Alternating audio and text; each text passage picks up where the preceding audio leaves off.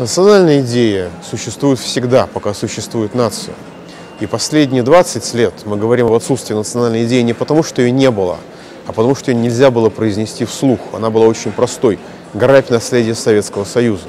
Именно поэтому у нас нет абсолютного отторжения нашей правящей верхушки. Общество понимает, что правящая верхушка просто проедает наследство Советского Союза с большим успехом, с большим смаком, чем общество в целом. Эта идея себя выработала, и теперь она должна быть заменена. Но от паразитирования переходить к труду, к созиданию крайне тяжело. Очень легко и приятно скользить по наклонной плоскости вниз, но карабкаться по ней же наверх обратно крайне тяжело.